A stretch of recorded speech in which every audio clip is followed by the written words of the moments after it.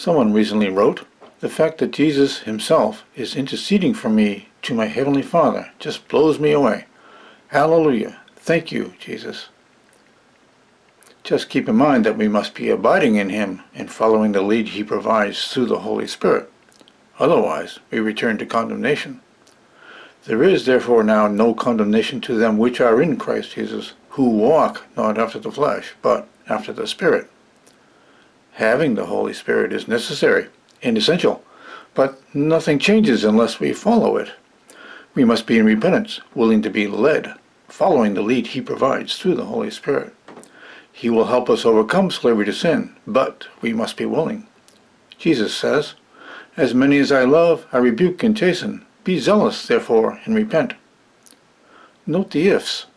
For if you live after the flesh, you shall die. But if you through the Spirit do mortify the deeds of the body, you shall live. For as many as are led by the Spirit of God, they are the sons of God. While we walk in the light, the Holy Spirit, he intercedes for us and covers, present tense, new sins we might commit. But if we walk in the light, as he is in the light, we have fellowship one with another, and the blood of Jesus Christ his Son cleanses us from all sin. Wherefore he is able also to save them to the uttermost, to come unto God by him, seeing he ever lives to make intercession for them. How do we come unto God? On his terms. And the time to this ignorance God winked at, but now commands all men everywhere to repent.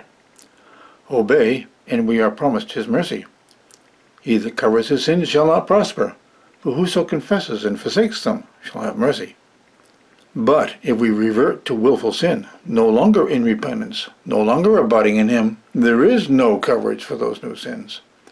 For if we sin wilfully after that we have received knowledge of the truth, there remains no more sacrifice for sins, but a certain fearful looking for of judgment and fiery indignation, which shall devour the adversaries. Judgment is on the house of God, his church, right now. For the time is come that judgment must begin at the house of God. And if it first begin at us, what shall the end be of them that obey not the gospel of God?